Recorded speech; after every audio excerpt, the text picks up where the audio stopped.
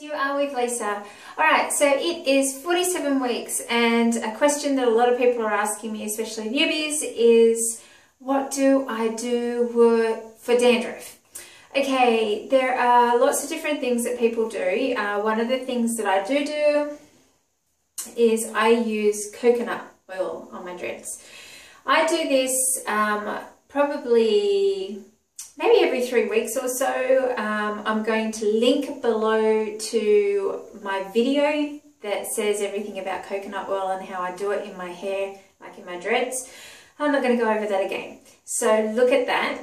Another thing is do your um, deep soak, deep cleanse uh, and use rosemary, um, peppermint and tea tree oil in your um, in your solution with your bicarb, uh, your lemon and your, if you do the apple cider and stuff like that.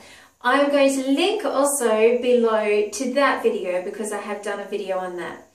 Now, anything else, what I would say is definitely steer clear of residue-free, um, sorry, stick with residue-free shampoos.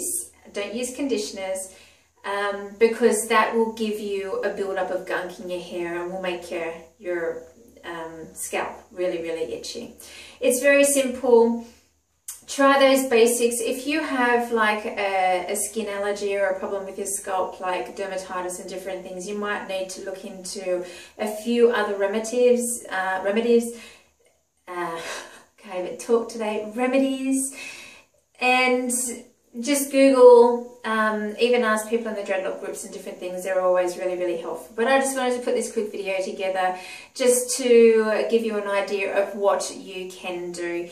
Um, I have a little bit of um, dandruff at the moment and I have just come back from a workout. So I am just about to use this in my dreads and at the moment it's room temperature and winter here. So in order to use this, I'd have to really rub it into my fingers because in my other video, it was summer and it was melted. So all I did was dip my fingers into it and put it onto my roots. It's a bit different. So just a really, really quick one. Think about tea tree, think about peppermint, think about rosemary. You can put it just basically into a water bicarb soda, have a soak. It will help. Uh, you can use one at a time or you can use all three. And definitely go co coconut oil because it works. Cheers.